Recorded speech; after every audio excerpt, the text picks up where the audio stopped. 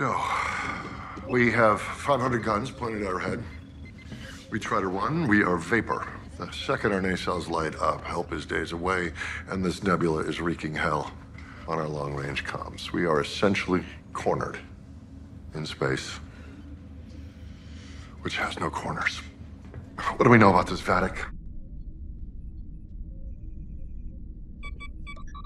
The broken thing. Touch it. Just keep tapping that and then go back to the drive. That's about Captain, that's his Vadic. Keep Just- going. no, what are you- Just says. I'm your grandfather. I don't know these things. oh my god, wait. Nothing in the Starfleet database.